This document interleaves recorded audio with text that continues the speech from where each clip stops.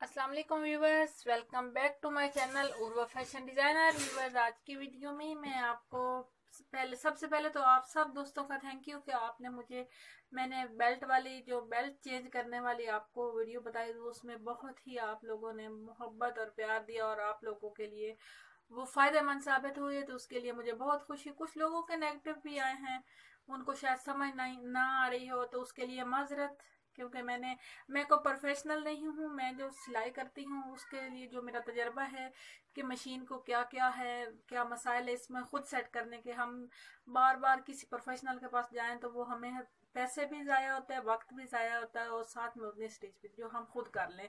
तो ये आज मैं आपको पाँच टिप बताने जा रही हूँ इसमें। वीडियो के पाँच टेप ये हैं कि हम इसको हम बार बार कपड़े स्टिच करते हैं। कपड़े स्टिच करते करते हमें किन चीज़ों का अपनी मशीन के लिए ख्याल करना चाहिए? को, कौन सी चीज़ें हैं जो हमने यूज़ करनी है और हमारी मशीन इंशाल्लाह कभी ख़राब नहीं होगी? तो आगे चलने से पहले अगर आपने मेरा चैनल सब्सक्राइब नहीं किया तो प्लीज़ सब्सक्राइब कर दें। साथ में बेल आइकन भी दबा दें ताकि आने वाली वीडियो की अपडेट मिल सके। बस सबसे पहले तो ये देखें बार बार धागा टूट रहा है मेरी मशीन का। और साथ में जो है अड़ अड़ कर चलती है, आवाज़ इसकी भारी हो चुकी है तो ये सारी चीज़ें जो है मसाइल है, इसका सिर्फ़ एक ही हल नहीं है। इसके पाँच मुख्तलिफ़, ये देखें बहुत ज़्यादा आवाज़ आ रही है धागा ख़राब हो रहा है और साथ में बार बार धागा टूट रहा है इसका।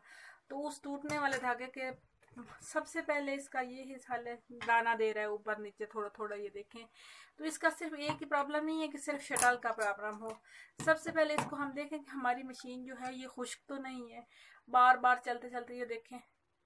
यहाँ कोई ऑयल का निशान भी नहीं लग रहा है। मेरी मशीन इस वक्त सूख चुकी है।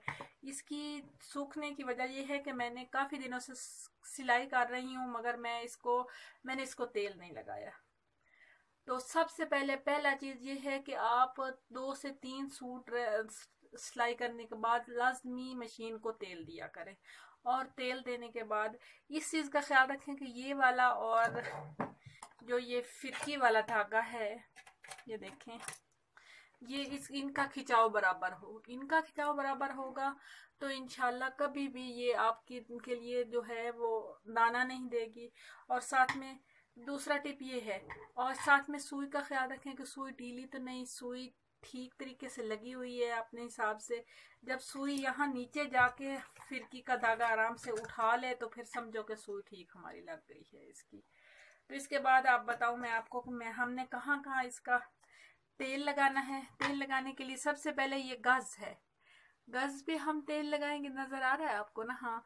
उसके बाद ये है फिर हमारा यहाँ वाली जगह जो है, उस पर और सबसे बेस्ट जगह जो है हमारी, मैं आपको साथ साथ लेकर चलती हूँ, यहाँ तेल लाजमी लगाए। ये देखें, ये उन्होंने बनाए हुए हैं, साथ में ये भी सुराख है, इन सब सुराखों में।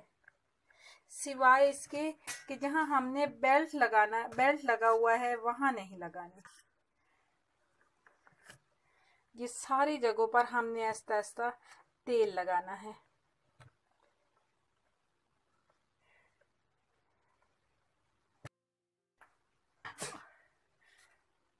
पहला टिप व्यूवर्स ये था, तेल लगाने वाला। दूसरा ये था कि सुई का खास ख्याल रखें। अब तीसरा टिप ये है कि मैं आपको ये बताऊँ कि ये देखें, ये हमारा है शटल सिलाई करने के बाद ये देखें, ये बारीक बारीक धागे सारे इसमें बन गए हैं, ये देखें। इसको खोलें और खोल कर इसकी सफ़ाई करें। और साथ में ये जो, ये है गुलाई वाली जगह, मैं आपको इसको बताती क्योंकि मेरी ये एक तो ये फिटिंग वाली मशीन है टेबल के साथ तो इसलिए इसका कोई, मैं ये आपको दिखा दूँ, ये देखें, ये ये बारीक बारीक सारे धागे जो हैं, ये इसके बीच में से निकले हुए, यही चीज़ आवाज़ का भारीपन देती है, यही चीज़ धागे को टूट, टूटने का प्रॉब्लम बनती है, और इन्हीं चीज़, इसी चीज़ की वजह से आपके लिए ये सारे प्रॉब्लम होते हैं। तो फिर मैं आपको यहाँ से खोलती हूँ। अगर आपने ठीक तरीके से देखना हो तो मैं ये खोल के आपको दिखाती हूँ कि यहाँ ये सारे पेच, एक दफ़ा मशीन की अच्छी तरह सफ़ाई कर दें तो सफ़ाई करने के बाद जी ये इसका मैं आपको बता रही थी बार बार, अगर आपका शिकल दूसरा है, यानी कि मेरे तो ये आजकल न्यू आ रहा है, ये बीच में से जो पुर्जे होते हैं, ये वाले निकल आते हैं और यही साफ़ कर दिया जाता है तो बहुत आसानी से हो जाते हैं। अगर आपका दूसरा है तो आप मुझे कमेंट करें, मैं ये वाला खोल के आपको सारा बताऊँगी कि ये वाला किस तरह खोल, खोलते हैं, ये वाला खोल कर किस तरह हम बनाते हैं। तो आपके कमेंट के मुताबिक आगे मैं लेकर, अभी से देखेंगे पहले वाली और इस वाली आवाज़ में बहुत ज़्यादा चेंजिंग हो गई। आप ये देखें, इसको हम, ये देखें। इस तरह अब हम इसको फिट करते हैं। फिट करने के बाद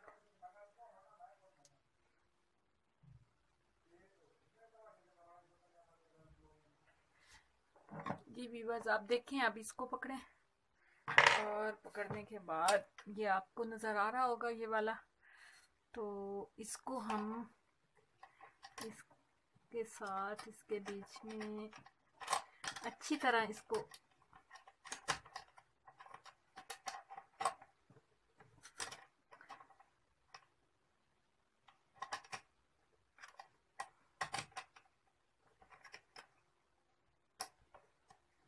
ये देखें। ये अब ये चीज़ फिट हो गई है, ये चीज़। इसके बाद जो ये यूनिक तरीके वाला है, ये है वो वो ये ऊपर वाली जगह है, ये जो है। इसको हम इसके साथ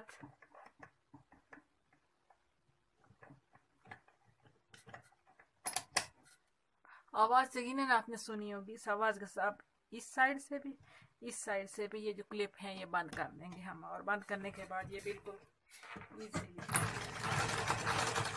ये फिट हो गए इसके बाद इसको कर लेंगे।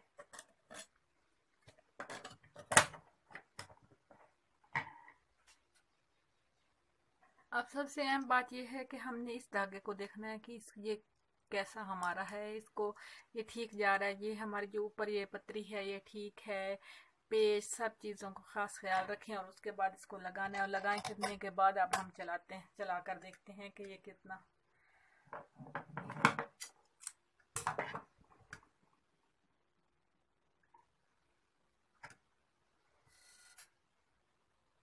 उसके बाद वीवर्स ये देखें जब भी नई फिरकी लगाएँ तो ये धागा ज़रूर निकालिए। पांचवा टिप ये है, ये धागा ज़रूर निकाल लें। यही वाले जो होते हैं, वो अंदर फंसते हैं और फंसने के बाद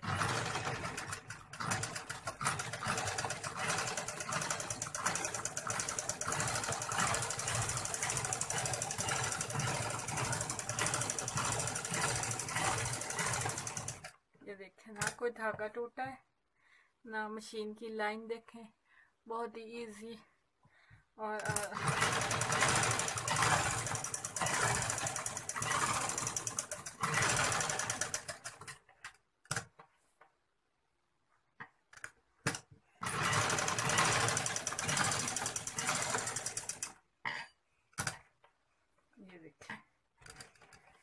अब इसको मैं थोड़े से मोटे कपड़े पर चला कर आपको दिखाती हूँ। एक, दो तीन और चार। ये सारे ये वाले पीसेस क्योंकि बारीक कपड़ा और मोटे कपड़े पर दोनों पर चले मशीन तो वो वाली मशीन है।